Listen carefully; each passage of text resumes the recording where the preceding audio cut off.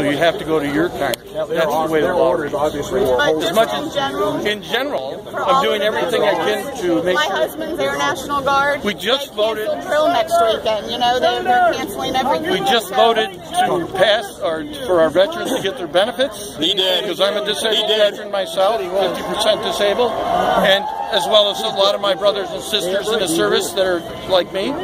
And uh, we voted for that, but the Senate and the president don't want anything to do with it. Can I ask your opinion though? What do you think he has that, that is so against everything? Why is it?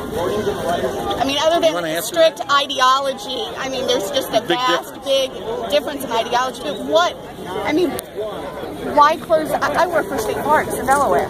Why would you close an open air memorial I didn't- except to make it didn't it. difficult? To make know, it open it today. But just to make it difficult that for the order people. come from the White House? I was at the Vietnam Wall. That's the executive with my branch. brother-in-law. It was a volunteer. The executive branch closed it, ma'am. Yeah, sir. executive branch. Come on.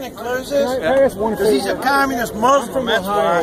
and, and I come from a good family, and we're, and we're good people. Could you could you work with your colleagues and tell we're not haters, we're not biased, we're not that every single day. racist. Please stop that rhetoric. That hurts everybody. Never waste a good Look, let me let me tell you the thing, okay? Tell you a little story. It's funny.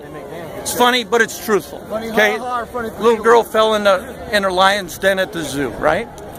Parents are going crazy. They see this.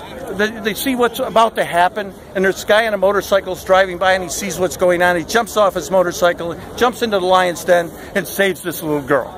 Brings her out. Parents are ecstatic. They're very happy with them, right? And this guy comes running up, running up, and says, "Hey, I'm a newspaper reporter. I saw just what happened, and tomorrow you're going to be front page news. Tell me about yourself. He says, Well, I'm a former Marine and a Republican. And the next day, the headlines read, U.S. Marine steals food from African immigrant. All right? That's what we're dealing with. That's what we're dealing with.